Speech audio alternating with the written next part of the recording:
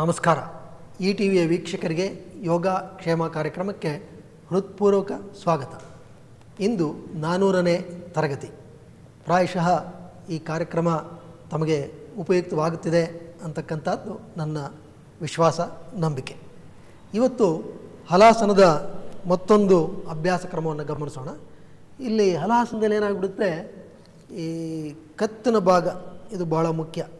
We have to protect the cervical spine ಆರಂಭಿಕ ಹಂತದಲ್ಲಂತೂ ಇದು ಅನಿವಾರ್ಯ. ಏಕಾಏಕಿ ನಾವು ಈ ಭಾಗಕ್ಕೆ ಹೆಚ್ಚಿನ ಬಡಚುವಿಕೆಯನ್ನು ಕೊಡಲಿಕ್ಕೆ ಹೋಗಬಾರ್ದು. You must learn to protect the cervical spine that very important ಆ ಕಾರಣದಿಂದಾಗಿ ನಾವು ಇಲ್ಲಿ ಒಂದು ವ್ಯವಸ್ಥೆಯನ್ನು ಮಾಡ್ಕೊಂಡಿದ್ದೀವಿ. ಇಲ್ಲಿ ಗಮನಿಸಬೇಕು.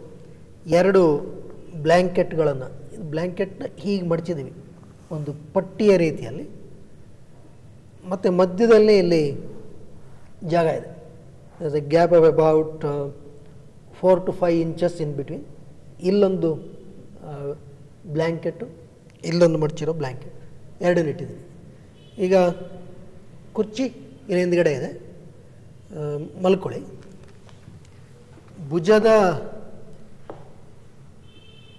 ಭುಜದ ಕೀಲುಗಳು ಇದ್ರ ಮೇಲೆ ವಿರಮಿಸಬೇಕು. The shoulder should rest here neck is is in between ಕತ್ತು ಈ ಎರಡು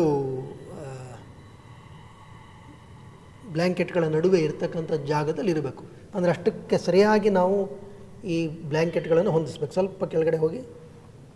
ಹಾಗೆ. ನೋಡಿ, ಮಧ್ಯದಲ್ಲಿ ಇರುತ್ತೆ ಕತ್ತು.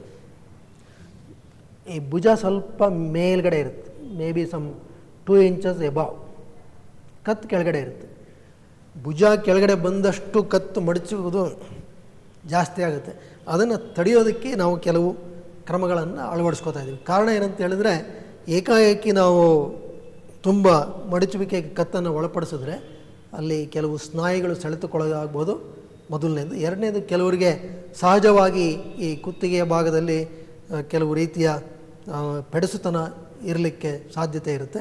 ಅಂಥವರು ಸಹ ಈ ಥರದ ಕೆಲವು ವಿಧಾನಗಳನ್ನು ಉಪಯೋಗಿಸ್ಕೊಂಡು ಕ್ಷೇಮಕರವಾದಂಥ ರೀತಿಯಲ್ಲಿ ಹಲಾಸನವನ್ನು ಮಾಡ್ಬೋದು. ಈಗ ನಿಧಾನವಾಗಿ ಪೃಷ್ಠದ ಭಾಗವನ್ನು ಮೇಲಕ್ಕೆತ್ತಿ ಕಾಲುಗಳನ್ನು ಮೇಲಕ್ಕೆತ್ತಿ ಹಲಾಸನ.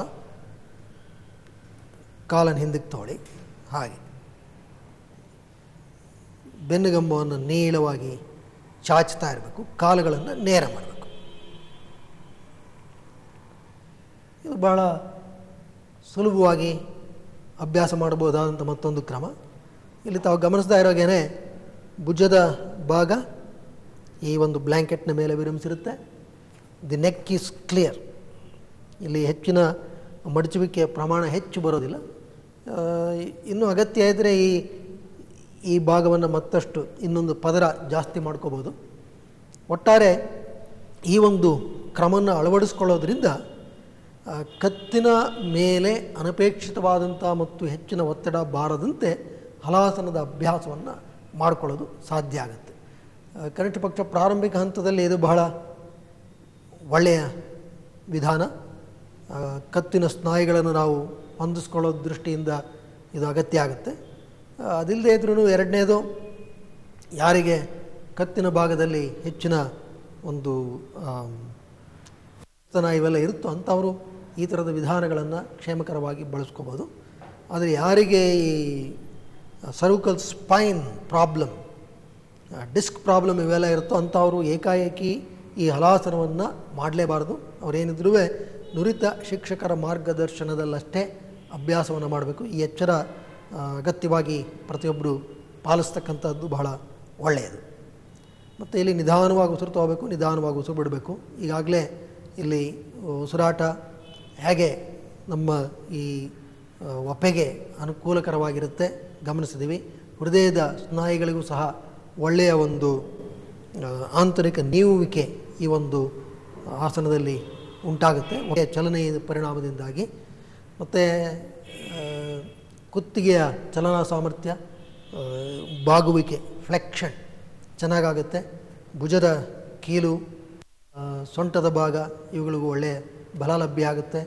ಕಾಲುಗಳಿಗೆ ಭಾಳ ಒಳ್ಳೆಯದು. ರಕ್ತ ಪರಿಚಲನೆ ಸುಲಭವಾಗಿ ಗುರುತ್ವಾಕರ್ಷಣೆಯಲ್ಲಿ ಹಿಮ್ಮುಖವಾಗಿ ಸಾಗೋದರಲ್ಲಿ ಇದು ಬಹಳ ಒಳ್ಳೆಯದು. ಮತ್ತು ಎಲ್ಲ ಪ್ರಮುಖ ಅಂಗಾಂಗಗಳು ಆ ಗುರುತ್ವಾಕರ್ಷಣೆಯ ಕ್ಷೇತ್ರದ ಫಲವಾಗಿ ಹಿಮ್ಮುಖವಾದಂಥ ಒಂದು ಒತ್ತಡವನ್ನು ಪಡ್ಕೊಳ್ಳುತ್ತೆ. ತನ್ಮೂಲಕ ಅಲ್ಲಿರ್ತಕ್ಕಂತಹ ನಿಶ್ಚಲತೆಯ ಜಾಗಗಳು, ಅವುಗಳು ಸಹ ಸಚೇತನಗೊಳ್ಳುತ್ತೆ. All stagnation points can be easily remove and this a very relaxing posture very stable relaxation ಅದಕ್ಕೆ ಇದನ್ನು ಅನೇಕರು ಡೈನಮಿಕ್ ಶವಾಸನ ಅಂತಲೂ ಕರೀತಾರೆ. ಹಾಗಾಗಿ ಇದು ಬಹಳ ಒಂದು ವಿಶಿಷ್ಟವಾದಂತಹ, ಉಪಯುಕ್ತವಾದಂತಹ ಆಸನ. ಮತ್ತು ಇಳಿಬೇಕಾದರೆ ನಿಧಾನವಾಗಿ ಕೈಗಳನ್ನು ಸ, ಆಧಾರವಾಗಿಟ್ಕೊಳ್ಳಿ. ನಿಧಾನವಾಗಿ ಕೆಳಕ್ಕೆ ಬನ್ನಿ. ಈ ಕೆಳಕ್ಕೆ ಬರ್ತಕ್ಕಂಥದ್ದು ಅಷ್ಟೇ ಭಾಳ ನಿಧಾನವಾಗಿ ಬರಬೇಕಾಗಿ ಮಲ್ಕೊಳ್ಳಿ. ಜಸ್ಟ್ ಲೈ ಡೌನ್ ಈ ಹಲಾಸನದಲ್ಲಿ ಇಳಿದ ಮೇಲೆ ತಕ್ಷಣ ಏಳಬೇಡಿ. First relax for couple of minutes ಒಂದೆರಡು ನಿಮಿಷ ಅಲ್ಲಿ ಸಹಜವಾದಂತಹ ಉಸಿರಾಟದೊಂದಿಗೆ ವಿರಮಿಸ್ತಕ್ಕಂಥದ್ದು ಭಾಳ ಅಗತ್ಯ. ಅದು ಮತ್ತು ಕತ್ತಿನ ಭಾಗ, ಇದೆಲ್ಲ ವಿಶ್ರಾಂತಿಯನ್ನು ಪಡ್ಕೋಬೇಕು. ಆ ಕಾರಣದಿಂದಾಗಿ relax for couple of minutes ನಂತರ ನಿಧಾನವಾಗಿ ಬಲಗಡೆಯಿಂದ ಮೇಲಕ್ಕೆ ಏಳಿ.